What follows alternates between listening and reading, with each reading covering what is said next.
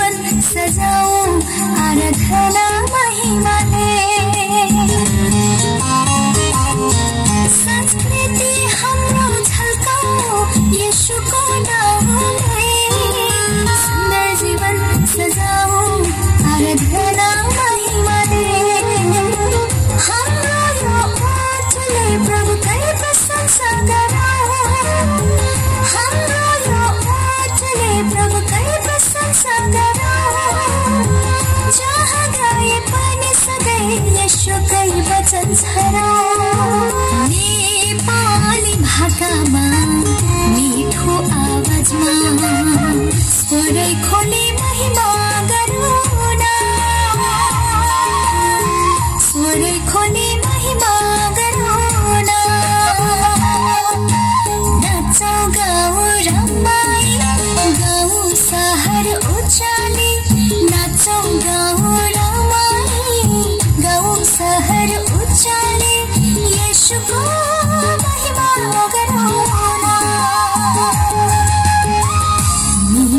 आवाजमा।